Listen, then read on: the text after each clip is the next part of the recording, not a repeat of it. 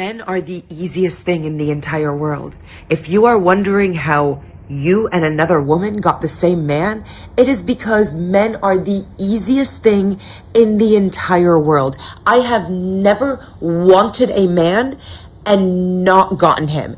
Do you have any idea how many men have wanted me and not gotten me? Granted, granted, some dusties have caught me slipping. But there has never been a single man that I have wanted that I have not gotten because men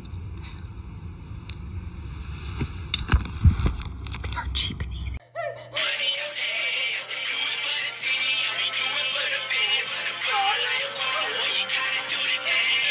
Let's go through this step by step. How did a girl who was brought by her parents to the United States from Lebanon, your home country, schooled in the United States, clearly smart, went to university in Texas, read history. How did you get involved? Uh, I struggled my entire childhood with weight, and I never felt attractive or worthy of male attention. And suddenly, my first year of college, I start losing all this weight from making small changes. And once I did that, I started garnering all of this attention from men, and I was never used to it. And I felt like unless I held on to it and kind of did what was asked of me or what was expected of me, it would go away. And after feeling what it was like, that validation and you know the compliments for the first time, I did not want that to go away.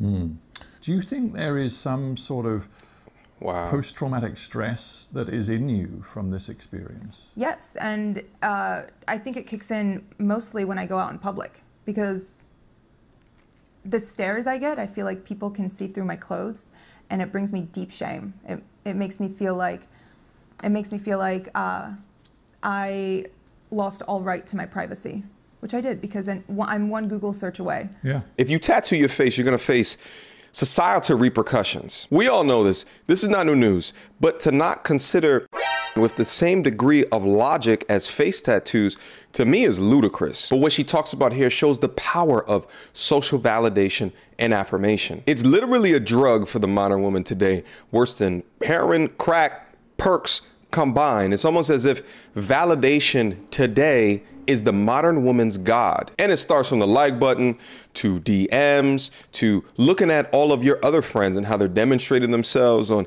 social media to then posting your own hindquarters to social media to OnlyFans and then eventually might get to I actually found an article and I'll link it down below for you guys to review. But in it, it said researchers found that 29% of girls who spent more than three hours a day on social media engaged in self harm, and 31% of girls who spent five or more hours per day on social media were clinically depressed. Among girls who spent two hours per day on social media, 19% experience self harm, while 20% experience depression. rappers be talking about I got your bitch. Instagram got your bitch. Mm-hmm. Instagram got your bitch.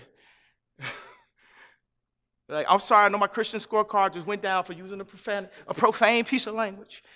Uh, you ain't got your Instagram got all y'all, cause they gonna do it for the gram before they do it to you. They gonna send a picture to the gram before they send it to you. Social media doing more to hurt families than it is to help families, and families are the key to health. Listen, as men, we can't live our lives like this. We have to have clear purpose and clear intention. You must strategize your life. This ain't for the short term, this is the long game. Okay? If you engage in criminal acts and or activity, do not be surprised if you end up in the penitentiary. I want to talk about your relationship. Ooh, okay. Yeah. How, and it's Robert, right? Yes. How does Robert, this is kind of two prongs. How does he prop you up?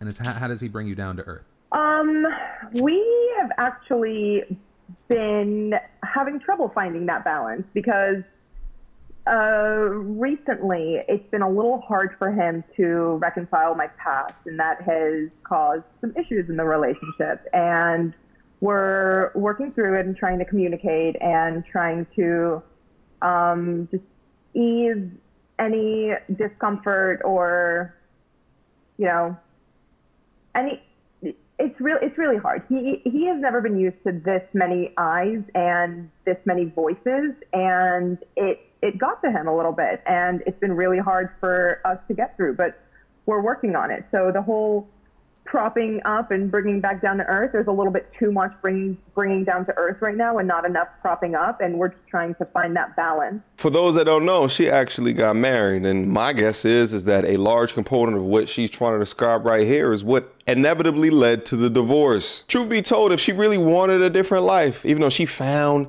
a simp sucker to marry her, irrespective of the volumes of tapes that she had up on the internet and the volumes of controversies that she's been involved in.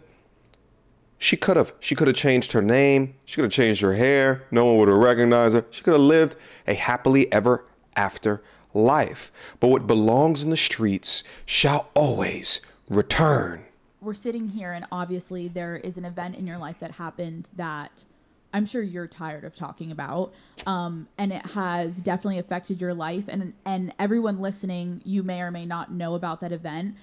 We're not here to talk about the event. I almost want to start now, like after this big event, after this this scene goes viral. Who was that girl the minute that goes viral and like from then to now? Because last night you were saying you're the happiest you've been in your life. To have the most isolating feeling like you're alone you have people sending you threats you have your family at the time not supporting you. Damn. where like where was your head at? And like how did you get here today? You know what i'm saying? Like a lot of people wouldn't have been able to get through that mentally. And and your mental health i'm wondering like where were you mentally post that video? So For those unaware, Mia Khalifa did a video a few years ago. It was a in full hijab and got death threats from Muslims all over the world. It's crazy. Oh, I don't know where I was because that is around the time that I started dissociating and just compartmentalizing everything and pretending like things never What? happened to the point where I didn't even talk about for the first like three years after. I just went quiet, never spoke about it.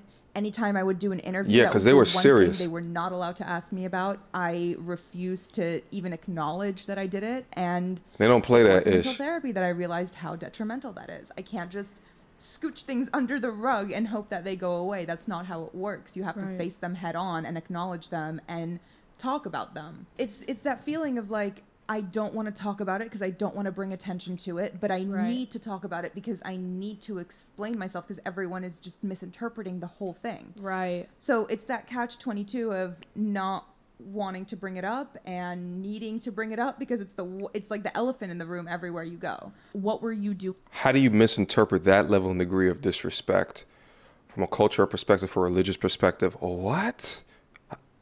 In your life post that video like where did you go like what were you doing how were you making money I was working as a paralegal at a law firm and then I was working as a bookkeeper at a construction firm and then I was like, okay, I'm tired of living in this $500 a month efficiency. It was disgusting. It was so bad. Cockroach infested. It was the worst times of my entire life.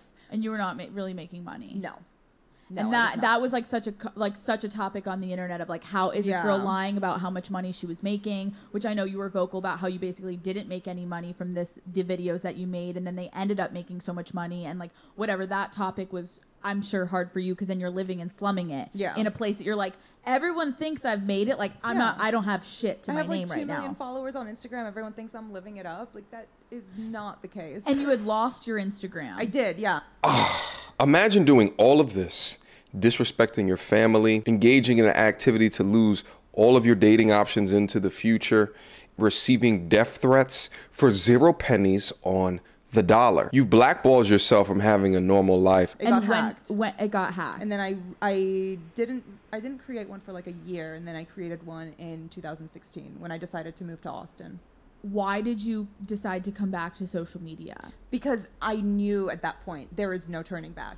Everyone knows who I am. Right. I can't work anywhere. That's why I left the law firm job. It was very uncomfortable for me to work there. Well, actually, the company dissolved, but I was very uncomfortable working can there. Can you explain that experience Yeah, it's very weird to go into a job interview thinking, "Oh, I'm just going to go back to normal life," and having the interviewer ask you if if you if you did Right. there is oh, nothing Oh, you think they're asking you that because they knew? Yes, yeah, they Got it. recognized me. And I went to a couple interviews where some comments were made, and then I finally got a job at the law firm. And Yeah. Then I got a job working for a friend's company at the construction firm, and then I just realized I You feel uncomfortable. I feel uncomfortable everywhere I go. Like I, I can't be sent into the field. They have to be careful about who they let in the office because some subcontractors are creepy. Like Right. I started to feel like a burden on the person who was taking a chance on me and giving me a job. It's incredible for me to think that you expected a normal life after you wore a hijab while getting. You should be grateful that you even had the opportunity to interview to jobs like that. And it's incredible how oblivious that she's acting as if after going viral that she expected the same treatment out into the public. Talk about when you regret selling yourself. wow. To say you felt like a burden to the people that were giving you a job. Yeah.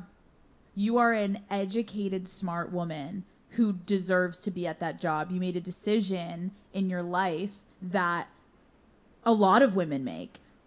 I've made a No, they with don't. a boyfriend, and maybe it didn't happen to go viral, but there was a chance. People's nudes get released. People decide to do. Back to the point of you being Pander. a paralegal. The fact that you were a paralegal, Mia, like you're I didn't say I was a good one. no, I I know you were a good one. No, but I can tell you're a smart, educated woman. So like, I the, that was the first thing when I sat down with you last night. I was like, this girl's fucking smart. And the And same way about you. so, but it's it's crazy to then Being a smart, educated woman doesn't make you a hard worker. She even told you that she wasn't good at it, but you know, the pander knows no bounds. think that you had to feel you couldn't fully get into a job and allow yourself to go full force at a job because you were being haunted by a decision you made in your past. Yeah. The moral of the story is, is that yeah, you can get that fast money, right? Go ahead, do your OnlyFans, right? Do your, right? But are you prepared to live a life of permanent reputational damage? A life where your family may no longer support you? A life where you walk out into the street and you feel as though people can see you naked. I mean, she even said it like at this point, it's damn near impossible for her to even get a job, a normal job, because of her face, name, as well as her insides reputation. All while cutting potential dating options, but it's just so short sighted to me to not think that it would not. Like, why would a man want to continue to build with you into the long term? If that has been your past. If you're adult enough to act in an adult movie, then you're adult enough to face the repercussions. Questions, comments, concerns. Y'all already know what to do. Mediocre tutorials and reviews at gmail.com. Guys, did you enjoy today's clips? Leave it down for me in the comment box down below what you agree with, what you don't agree with. Make sure you put a timestamp at a particular portion of the video so I know exactly what it is that you are speaking about. Until next time, YouTube peace.